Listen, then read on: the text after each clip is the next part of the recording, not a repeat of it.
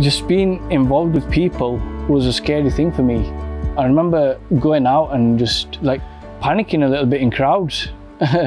so I don't think I had any idea that I'd be able to achieve what I've achieved and get get this far. I, I, I did have problems and I did I did have I did need support and help. I was quiet, I was self-isolating. I was going through a tough time um, and, and I noticed that I wasn't actually improving. I was I was getting worse, but I didn't actually know that I was I was ill at the time. I would have ended up on the streets. Luckily, the, the Insight team caught me in the right time. They started taking me out and walking and, and other activities, cycling and stuff. I improved quite a lot. I was a lot calmer. It was uh, around four or five months in that I, I, I noticed and looked back and I thought, hang on a minute,